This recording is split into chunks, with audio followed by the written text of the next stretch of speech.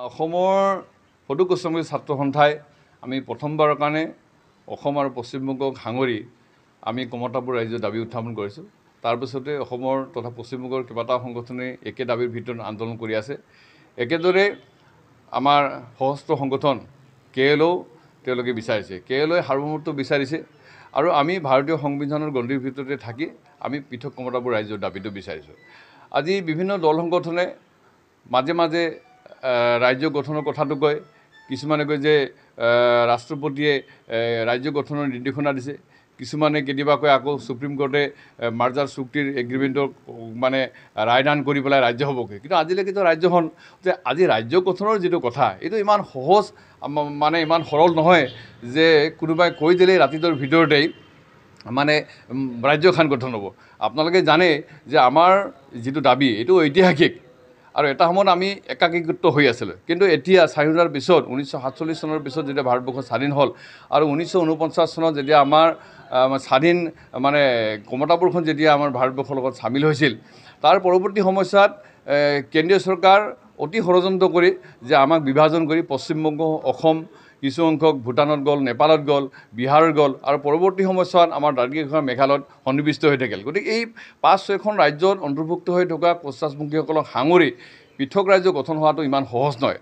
আৰু যিহেতুকে আজিৰ তাৰিখত দুখন শক্তিশালী ৰাজ্য আমাৰ এই দাবীটোৰ ভিত্তিত আছে। অসম আৰু পশ্চিমবংগ মমতা বেনাৰ্জী ইমান শক্তিশালী নেত্ৰী বা আজি ডক্টৰ হিমন্ত বিশ্ব শৰ্মা এওঁলোকে ইমান শক্তিশালী ব্যক্তি বা মন্ত্ৰী যে তেওঁলোকে আজি মানে ইমান সহজেই কমতাপুৰ ৰাজ্য গঠনত তেওঁলোকে অসমৰ তিনি চাৰিখন ৰাজ্য জিলা বা আজি পশ্চিমবংগৰ আঠখন জিলাক মানে মমতা বেনাৰ্জী ডক্টৰ হিমন্ত বিশ্ব শৰ্মাই চলিব। কিন্তু এই প্ৰক্ৰিয়াটো আলোচনা চলিছে কেৰলৰ লগত যিটো সাম- সম্ভাৱ্য যিটো আলোচনা এইটো প্ৰক্ৰিয়াটো চলি আছে। আমি কিছুমান কথা আমি ক'ব খোজা নাই বা কিছুমান কথা আচলতে ৰাজহুৱা কৰাটো উচিত নহয়। কাৰণ এই কথাবিলাক ৰাজহুৱা হ'লেই আমাৰ মাজত সংঘাত সৃষ্টি হ'ব বা যিসকলে কমতাপুৰ ৰাজ্যৰ দাবীটো শান্তিপূৰ্ণভাৱে সমাধান হোৱাটো নিবিচাৰে বা যিসকলে ৰাজ্যৰ ৰাজ্যটো নিবিচাৰে তেওঁলোকে এনেকুৱা ধৰণৰ প্ৰতিক্ৰিয়াশীল মন্তব্য ৰাজহুৱাভাৱে কৰি আচলতে যিসকলে কমতাপুৰ ৰাজ্যটোক নিবিচাৰে বা যিসকলে কৌচামী জনগোষ্ঠীৰ জাতীয় এই দাবীটোক সমাধান হোৱাটো নিবিচাৰে তেওঁলোকক উচতনি দিয়া হ'ব। গতিকে আমি ভাবোঁ যে কৌচামী জনগোষ্ঠীৰ প্ৰত্যেকটো দল সংগঠনে সহমৰ্মিতাৰে পূৰ্ণ সহযোগিতাৰে আৰু সহনশীল মনোভাৱেৰে আমি ঐক্যবদ্ধ হৈ ওলাই আহিব।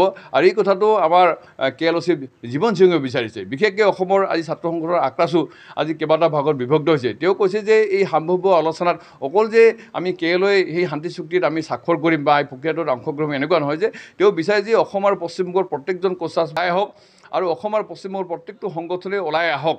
কিন্তু এই মুহূৰ্তত যিহেতু অসমৰ শক্তিশালী এটা ছাত্ৰ সংগঠনৰ আক্ৰাছো আছিল আজি কেইবাটাও ভাগত আজি বিভক্ত হৈছে। তেওঁ বিচাৰিছে অহা দুমাহৰ ভিতৰত আক্ৰাছো নামৰ সংগঠনটো ঐক্যবদ্ধ হওক আৰু এই শান্তি প্ৰক্ৰিয়াটোত তেওঁলোকে সহযোগ কৰক। কিন্তু তেওঁলোকে যদি এই জনগোষ্ঠীটোৰ বৃহত্তৰ স্বাৰ্থত বা আমাৰ দাবীটো শান্তিপূৰ্ণ সমাধান হোৱাৰ স্বাৰ্থত তেওঁলোকে যদি ঐক্যবদ্ধ হৈ নাহে তেতিয়াহ'লে আমি ভাবিম যে তেওঁলোক আচলতে ব্যক্তিগত স্বাৰ্থৰ কাৰণে ব্যক্তিগত ৰাজনৈতিক স্বাৰ্থৰ কাৰণে তেওঁলোকে একো একোটা মানে আক্ৰাছো গঠন কৰি ব্যৱহাৰ কৰি আছে। গতিকে মই কোচাছামী জনসাধাৰণক মুকলিভাৱে আহ্বান জনাইছোঁ।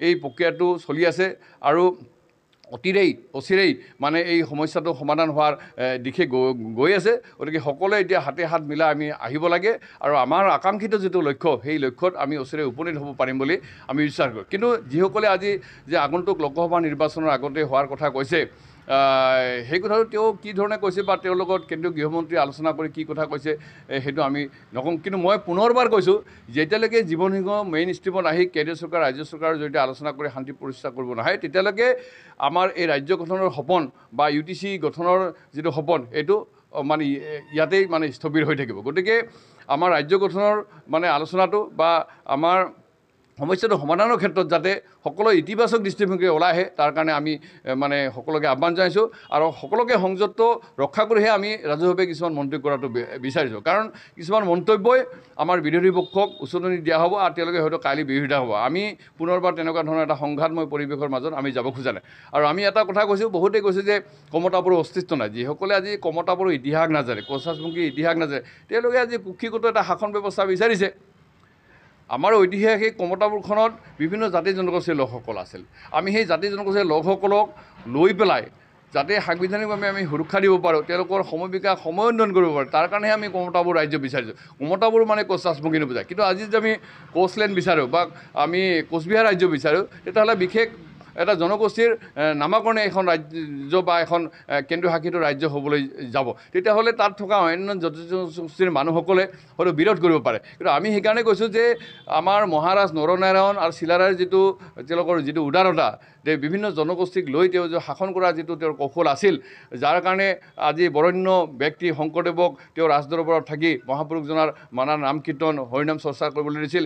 একেদৰে কালাবাহাৰ আজি মানে কামাখ্যা মন্দিৰ ভাঙি চুৰমাৰ কৰি যোৱাৰ পিছত উদাৰ প্ৰকাশ কৰি আজি সেই কামাখ্যা মন্দিৰৰ পুনৰ নিৰ্মাণ কৰিছিল। যে আমি মহাৰাজ নৰ আমাৰ মহাৰাজ নৰনাৰায়ণ আৰু চিলাৰায়ৰ যিটো তেওঁলোকৰ যিটো উদাৰতা যে বিভিন্ন জনগোষ্ঠীক লৈ তেওঁ যে শাসন কৰা যিটো তেওঁৰ কৌশল আছিল যাৰ কাৰণে আজি বৰণ্য ব্যক্তি শংকৰদেৱক তেওঁ ৰাজদৰবাৰত থাকি মহাপুৰুষজনাৰ মানা নাম কীৰ্তন হৰিনাম চৰ্চা কৰিবলৈ দিছিল একেদৰে কালাবাহাৰ আজি মানে কামাখ্যা মন্দিৰ ভাঙি চুৰমাৰ কৰি যোৱাৰ পিছত উদাৰ প্ৰকাশ কৰি আজি সেই কামাখ্যা মন্দিৰৰ পুনৰ নিৰ্মাণ কৰিছিল। যে আমি মহাৰাজ নৰনাৰায়ণ চিলাৰৰ সেই মহামনুতাক আমি সৰগত কৰি তেওঁলোকৰ সেই মহামন্তাক আদৰ্শ হিচাপে লৈ আমি পৃথক কমতা ৰাজ্যৰ দাবীটোক কেন্দ্ৰীয় চৰকাৰৰ এটা শান্তি প্ৰক্ৰিয়াৰ জৰিয়তে আগুৱাই যাব লাগিব। এই কথাটো কৈছোঁ।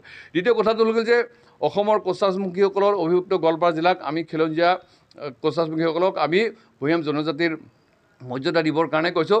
আৰু ইয়াৰ বাহিৰৰ যিখিনি অসমৰ জিলা আছে তেওঁলোকক অন্যান্য বা নতুন হিচাপে আমি জনজাতিৰ মৰ্যাদা দিবৰ কাৰণে কৈছোঁ। একেদৰে পশ্চিমবংগৰ কোচাজমুখীসকল আজি অনুসূচিত জাতি তেওঁলোকৰ সংগঠনবিলাকে অনুসূচিত জনজাতিৰ মৰ্যাদা বিচাৰি তেওঁলোকে আন্দোলন কৰা নাছিল। কিন্তু আমি বিচাৰিছোঁ যে অসমৰ অভিভুক্ত গোৱালপাৰা জিলাৰ লগতে মানে আমাৰ যিখন প্ৰস্তাৱিত যিখন আমাৰ কমতাপুৰ ৰাজ্য সেই ৰাজ্যৰ অন্তৰ্গত যিসকল কোচাজমুখী আছে তেওঁলোকক ভৈয়াম জনজাতিৰ মৰ্যাদা প্ৰদান কৰিব লাগে।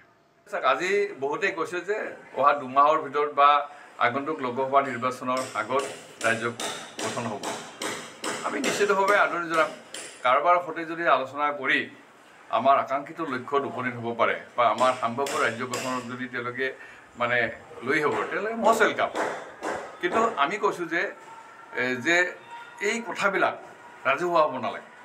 কাৰণ যিমানেই আমি কথাবিলাক আমি ৰাজহুৱা কৰিম সিমানেই সংঘাত আমি চপাই লওঁ গতিকে আমি এই সংঘাতৰ জৰিয়তে এই সমস্যাটো আমি সমাধান বিচৰা গতিকে যিসকলে আজি কেন্দ্ৰীয় গৃহমন্ত্ৰীৰ লগত আলোচনা কৰিছে বা পশ্চিমবংগ চৰকাৰৰ লগত আলোচনা কৰিছে বা অসম চৰকাৰটোৰ লগত আলোচনা কৰিছে সেই আলোচনাত কি ধৰণে গতি কৰিছে সেই কথাবিলাক ৰাজহুৱা কৰাটো উচিত হয় বুলি মই ভাবোঁ আৰু তেওঁলোকক মই সংযম ৰক্ষা কৰি ৰাজহুৱাভাৱে বক্তব্য কৰিবৰ কাৰণে আমি আহ্বান জনাইছোঁ।